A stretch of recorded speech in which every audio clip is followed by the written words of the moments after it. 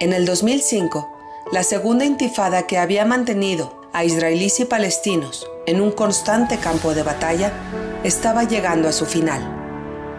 El 15 de enero, Mahmoud Abbas se convirtió en el presidente de la Autoridad Nacional Palestina. Durante su campaña electoral, Mahmoud prometía trabajar hacia un acercamiento pacífico con Israel.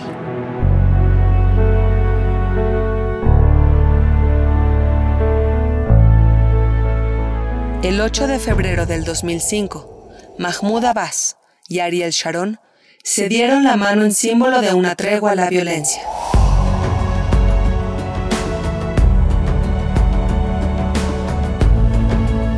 Y a pesar de que las organizaciones terroristas Hamas y la Yihad Islámica se negaron a ser parte de esta tregua, la intifada llegaba a su fin dejando 5.000 personas muertas y sobre todo miles de familias incompletas.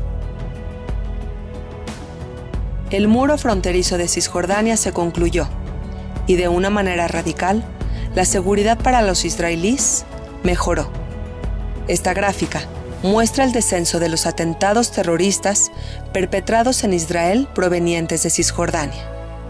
Aunque condenado internacionalmente, el muro cumplió con el objetivo que el primer ministro Ariel Sharon buscaba.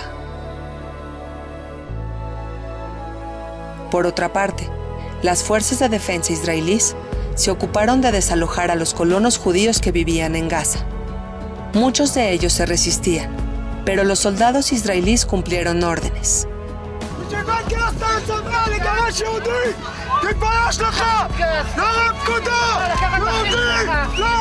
Al final del verano del 2005, ya no había en Gaza ni un solo judío. Este vacío de poder provocó que la organización terrorista Hamas se apoderara de la franja de Gaza muy pronto, y con esto, el Estado de Israel se hizo de un nuevo vecino extremadamente peligroso.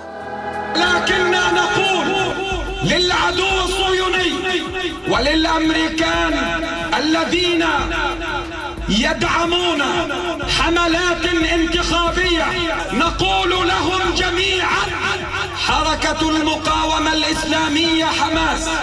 لم تعد تنظيما محدودا يمكن السيطرة عليه بل هي ظاهرة شعبية في أوساط الأمة والشعب الفلسطيني.